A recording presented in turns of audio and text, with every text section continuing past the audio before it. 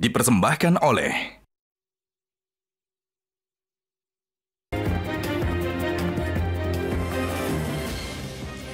Pemirsa diskusi kembali kami lanjutkan. Kita akan berbicara mengenai strategi debat dan juga strategi dalam waktu kampanye. Apabila kita lihat di Jawa Tengah, ada di Solo tempatnya ada muncul spanduk. Solo bukan Gibran. Bang Eriko, apakah ini merupakan strategi untuk mengamankan daerah Jawa Tengah atau bagaimana?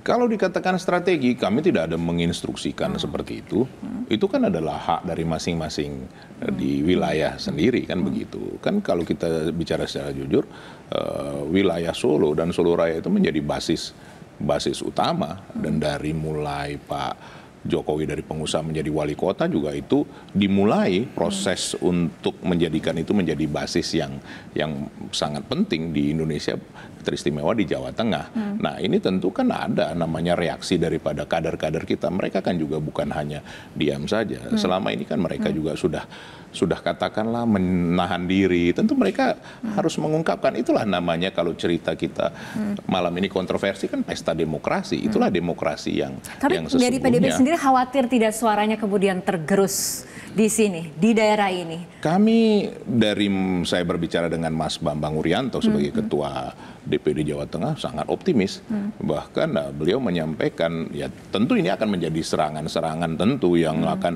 mengurangin selisihnya, tapi kami masih optimis di atas 60% untuk memenangkan uh, Jawa Tengah. Itu dari okay. hasil survei internal dan juga hmm. dari penetrasi yang dilakukan oleh saudara-saudara kami terutama caleg dan okay. juga struktural seperti itu Mbak Baik. Mbak Fitri. Bang Maman tanggapannya? Ya. Terkait apa nih Solo? Solo bukan Gibran. Uh, ya saya pikir itu kalau bahasa saya itu inilah yang disebut namanya huru hara demokrasi. Jadi itu hak kader-kader di bawah kan membangun narasi-narasi seperti itu. Jadi kembali lagi kita nikmatin aja Mbak ini sebagai bagian dari sebuah proses dinamika hmm. politik. Namun yang terpenting kalau tadi kembali lagi ke dalam debat, bagi kami, kami lebih ingin menjadikan bahwa forum debat-debat seperti ini forum untuk menyampaikan kejujuran apa adanya hmm. dalam membangun bangsa. Hmm. Bukan sesuatu mengemas dengan kata hope hmm. yang akhir dengan mudah begitu saja akhirnya kita ingkar terhadap apa yang kita sampaikan. Hmm. Karena ingat ini terkait mengenai hmm. suara kebatinan publik. Hmm. Tidak mudah dengan mengatakan bahwa misalnya BBM bisa kita gratiskan okay. begitu saja lalu kita bisa bilang kembali lagi ah itu kan janji kampanye masa hmm. itu gampang lah hmm. gitu. Hmm. Lalu kedua artinya ini yang harus kita kasih message kepada publik hmm. bahwa hati-hati ini kita bicara tentang perasaan publik yang tidak mudah dengan begitu saja kita berikan janji-janji, ya kita nggak mampu menepati janji. Oke, okay, baik. Itu aja uh, saya sih. Oke, okay. Bu Leli, ini mengenai debat dan juga kemudian kampanye ke lapangan uh, seperti itu kan intinya adalah bagaimana berkomunikasi, mengkomunikasikan janji uh, politik, janji kampanye kepada publik, meyakinkan publik. Ini ke, sebetulnya menurut Anda apa yang belum dioptimalkan oleh masing-masing tim ses ataupun dari paslon ketika kemudian mengkomunikasikan dan meyakinkan rakyat para pemilih uh, Bu Leli? Sering kali para komunikator politik itu selalu mengidolakan Laswell ketika berkomunikasi politik. Hmm. Padahal Laswell itu tidak pernah memikirkan umpan balik. Laswell itu berhenti pada efek. Hmm. Padahal komunikasi politik itu tidak lagi bisa dikonsepsikan sebagai komunikasi yang bersifat linier. Hmm. Karena dia sudah bersifat interaksional, konvergen, sirkuler, bahkan transaksional. Nah, empat dinamika inilah yang harus dikuatkan manifestasinya melalui media komunikasi politik. Hmm. Jadi ada empat sebenarnya media komunikasi politik itu. Yang pertama organisasi. Hmm. Kita tidak bisa memungkir ini pasangan nomor urut dua paling banyak nih media komunikasi politik organisasinya. Hmm. Makanya tidak heran juga kalau elektabilitasnya tinggi terus hmm. karena dari partai pengusung aja udah banyak hmm. itu satu maka yang dua ini harus mengejar hmm. dengan uh, dukungan partai organisasi yang sedikit mereka hmm. harus berupaya hmm. Itu satu jadi itu jauh lebih penting bagaimana hmm. komunikasi politik harus dilakukan hmm. lewat organisasi yang kedua interpersonal hmm. itu adalah media komunikasi politik yang paling kuat okay. bagaimana menyentuh rakyat hmm. rakyat itu yang merana istilahnya hmm. disentuh bahunya aja udah seneng loh hmm. jadi kalau mereka itu tidak pernah hmm. datang hmm. tidak pernah menyapa itu jauh dari rakyat. Hmm. Yang menjadi masalah. Kedekatan seperti itu di, ditimbulkan ataupun diciptakan oleh siapa nih Bu? Semuanya harus okay. diciptakan oleh hmm. semuanya. Yang jelas gini, biasanya komunikasi antara yang memilih dan yang dipilih hmm. selesai ketika yang dipilih itu terpilih. Hmm. Ini tidak boleh terjadi gitu. Hmm. Seperti Bang yeah. Eriko yang sekarang mau lagi ya, hmm. jangan mau pemilu aja deketin dia. Okay. Pak Prabowo ini Kalau kita satukan logikanya gini, Oke. Pak Jokowi ada 44 persen, eh Pak Jokowi 56 persen suara, dibulatkan ya. Pak eh, Jokowi 56, Pak Prabowo 44. Kalau semuanya mendukung nomor ur- urut 2, udah 100 persen kan?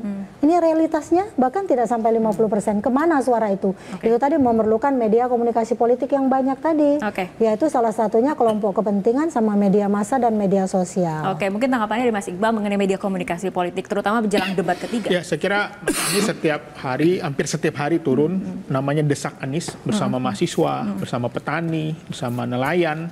Dan ini tentu saja menjadi salah satu kunci kemenangan itu. Kenapa? Karena tadi kata boleh tadi masyarakat tuh pengen dia didatangi kok, Iya. pengen disentuh, Disentuh. pengen didengarkan. Oke. Ya walaupun tadi kita nggak bisa menjawab semua persoalannya hari ini gitu ya. Oke. Karena yang sedang berkuasa aja tuh nggak bisa memenuhi kebutuhannya, apalagi yang sedang mau rumah maju. Contoh pupuk mahal, sembako mahal.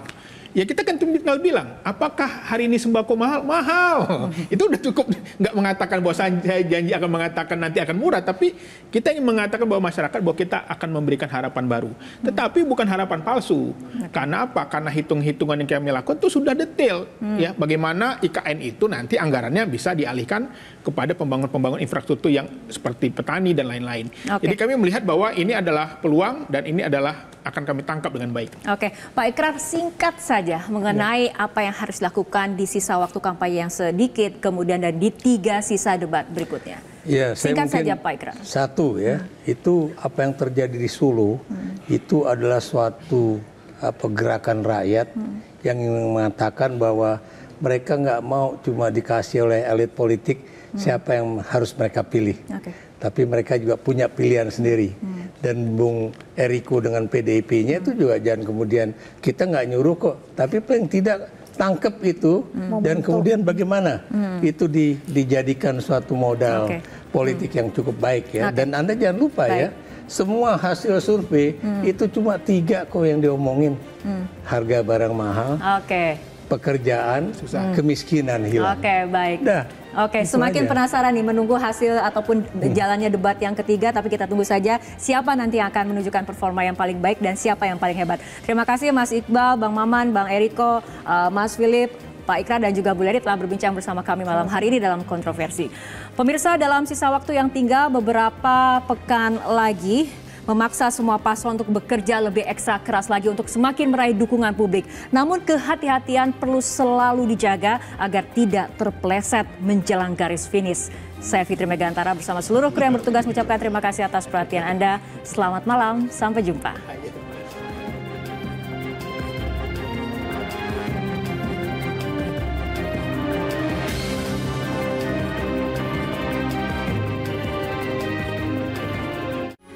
Metro TV. Jelajahi cara baru mendapatkan informasi. Download Metro TV Extend sekarang.